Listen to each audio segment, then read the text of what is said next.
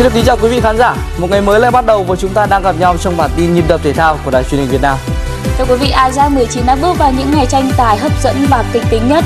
Đoàn thể thao Việt Nam cũng dốc sức để mang về những tấm huy chương quý giá và kết quả thi đấu cũng như là những câu chuyện bên lề của đoàn thể thao Việt Nam tại Hàng Châu Trung Quốc sẽ được chúng tôi gửi tới quý vị khán giả trong bản tin sáng ngày hôm nay.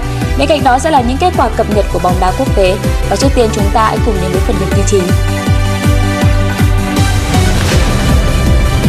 Nổi bật trong bản tin sáng nay, Dortmund và AC Milan chuẩn bị cho trận đấu tại UEFA Champions League.